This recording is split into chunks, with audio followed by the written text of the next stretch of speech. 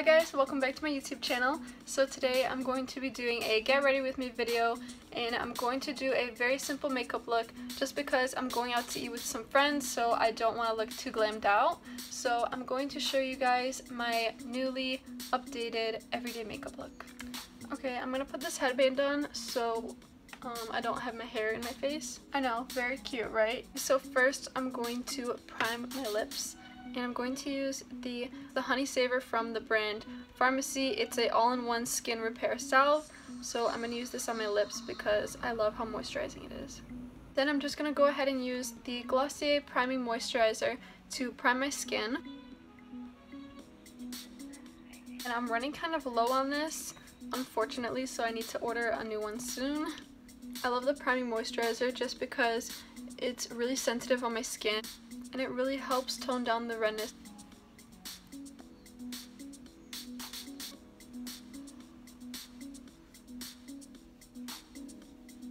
I like to use this kind of like a moisturizer as well as a primer just because it's so hydrating and I have like really dry skin. And I'm just going to spray my skin with the Mario Badescu Rose Water. Okay, the foundation I'm going to be using today is the Dr. Jart Ceramidin Day Tint. And I have the small sample size of this, but I've been loving it. And the sample has been lasting me a very long time as well. I love this because it's literally like a moisturizer, but it has the perfect tint to it. And then I'm also going to mix that with the Glossier Perfecting Skin Tint. This is my holy grail product. I have this one in the shade dark because I ran out of my medium and light shade so I'm just to work with this one and I'm to add a couple drops of it into the Dr. Jart foundation just because I got a little bit of a tan when I went on my trip to California. This is like the perfect mixture if you want to look dewy. So I'm just to load up my beauty blender with this and pat this all over my face.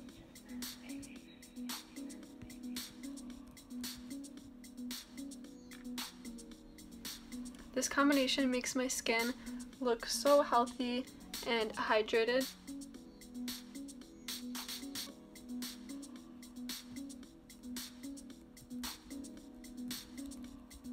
Next I'm going to use the NARS Creamy Radiant Concealer in the shade Custard. And I'm going to use this to conceal my under eyes. I like to just dab a little bit right near where I have like the darkest spots and then I blend it outwards and work with it and I'm just going to use my beauty blender to do this.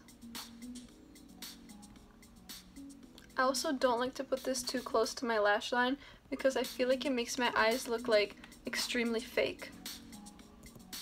And I feel like when you have a little bit of your um, dark circle showing, it just looks a lot more like effortless and natural even though I know a lot of people tend to hate their dark circles. And then I'm just to go back and add a little bit more wherever I need it. I'm also going to dab this on the spots that I need a little bit more coverage on.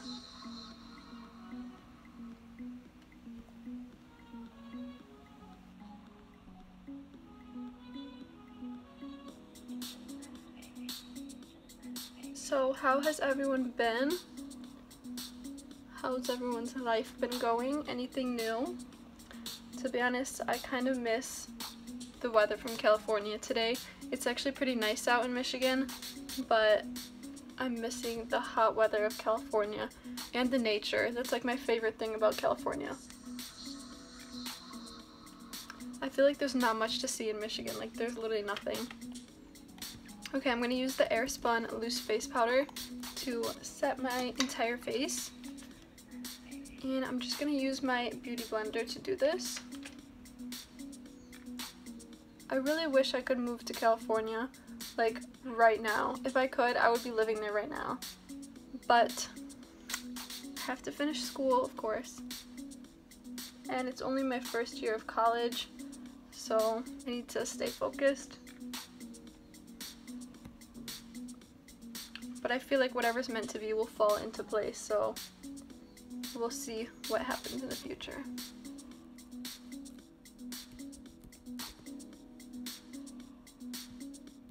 Now that I've set my face with that, I'm going to use the Bite Beauty Multi-Stick. And this one is in the shade Honey Wheat.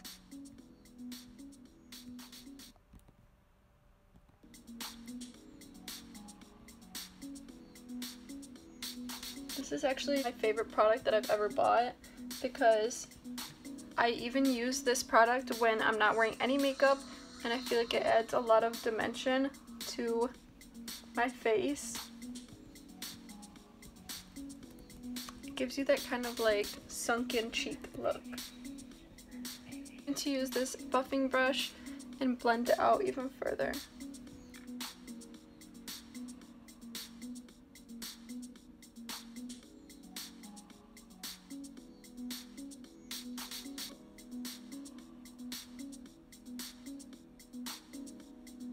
So I'm really thinking about doing a lookbook soon. Um, I really want to do like a spring lookbook with all the type of outfits that I would wear when we have this transition from like winter to spring and like everyone's indecisive on what to wear.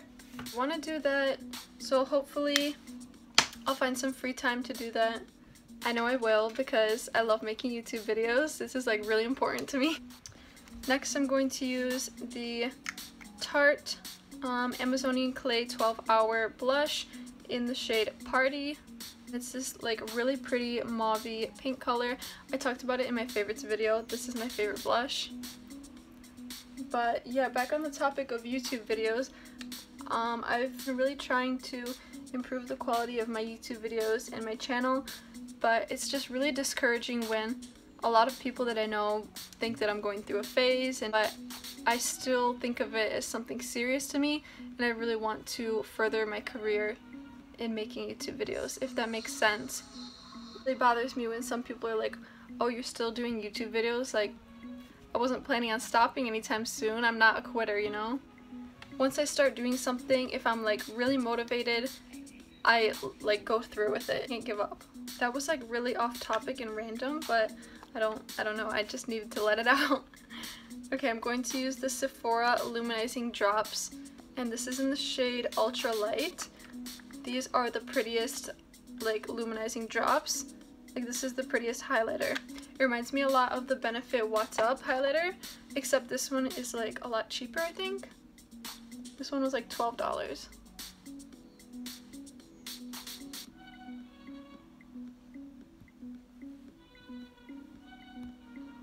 Like, look at how pretty that highlight is. It's so gorgeous, and it doesn't look too glittery either. So I'm just putting this on the high points of my face. Lately, oh my gosh, I've been loving the new Drake album. Like, let me tell you, I'm obsessed. I love the song Passion Fruit, Portland, and there was another one, I can't remember the name of it, but I love listening to it. I feel like Drake always comes out with the best album. Next, I'm going to use the Glossier Boy Brow in the shade Brown, and in the shade brown. And this is also another Holy Grail product that I'm obsessed with.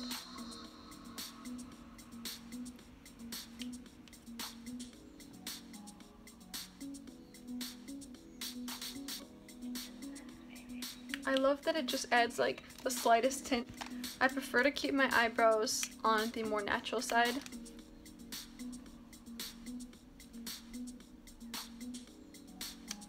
Now I'm just using the Anastasia Beverly Hills Brow Wiz to shapen up my brows a little bit because I have some sparse areas. Not that many, but a couple.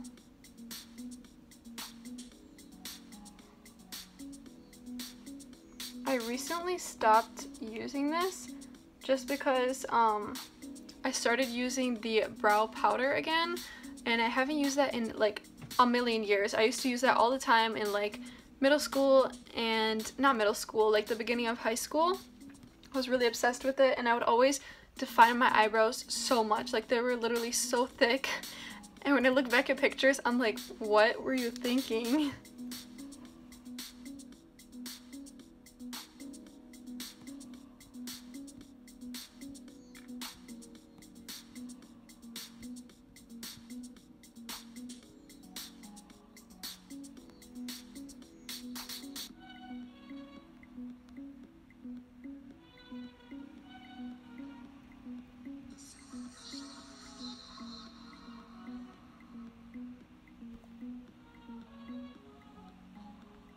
Now I'm going to use the Anastasia Beverly Hills Brow Gel to um, put them in place. I like to have these front brow hairs like stick out like this.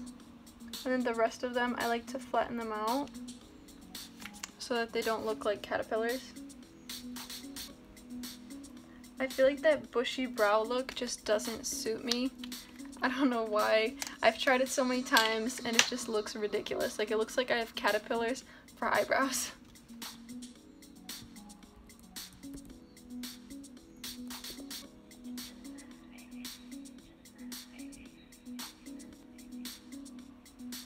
going to use the Benefit Roller Lash Mascara.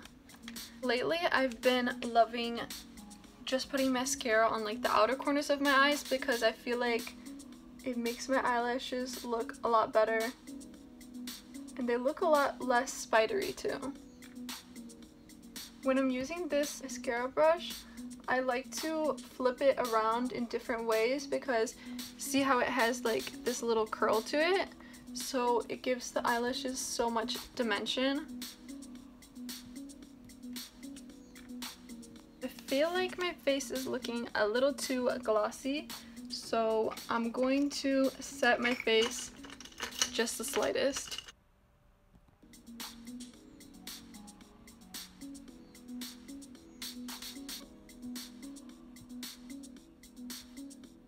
Okay, I'm just going to use that same honey salve and I'm going to put it all over my lips again because it kind of disappeared. My lips like soaked it all up because they're so dry. I'm going to use the Generation G lipstick by Glossier and it's in the shade Jam. This is like the prettiest purple shade ever. So I'm putting this all over my lips but I'm putting the most near like the center of my lips. That way it gives me like that bitten kind of look.